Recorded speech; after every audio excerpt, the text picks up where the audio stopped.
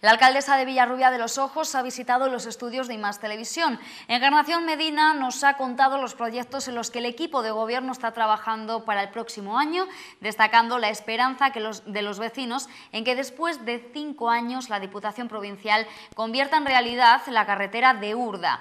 Recordamos que el presidente del ente público, José Manuel Caballero, habló ayer precisamente de un nuevo plan de caminos en los que se invertiría 9 millones de euros pues sí que han llegado muchas demandas y yo les he explicado cuál es la situación. Nosotros no tenemos las competencias, aunque es una zona y una parte que está dentro del casco urbano, podríamos arreglarla, nosotros no podemos arreglarla no podemos, mm, porque no nos compete a nosotros. ¿A quién le compete? Le compete a la Diputación.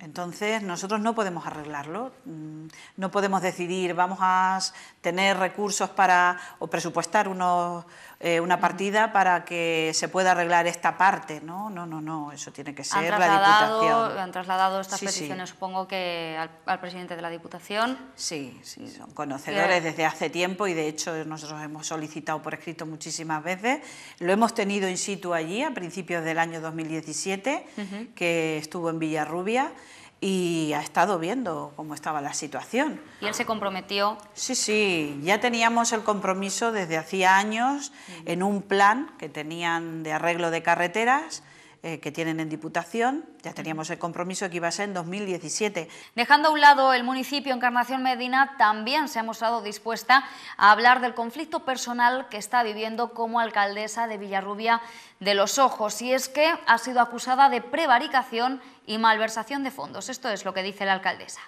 Pues el nombre que le han dado es ese, pero eso habría que explicarlo e informar para que todo el mundo sepa que eso ha sido una denuncia que el anterior alcalde eh, hizo contra mí eh, y presentó ante la Fiscalía de aquí, de Ciudad Real. en su denuncia, además, eh, literalmente, él comentaba y, dice que me denuncia porque yo le denuncié a él. Y la denuncia es por pagarle el premio de jubilación a un funcionario del ayuntamiento. Prevaricación administrativa, malversación de caudales públicos, bueno, pues todo está en un proceso judicial el juez, el, perdón, el fiscal eh, dio traslado al juzgado y estamos en las diligencias previas, como eso todavía pues no se puede declarar nada más porque el proceso requiere, claro, de que todo eso tenga donde tenga que ser, donde se tenga que valorar y donde se tenga que juzgar, claro.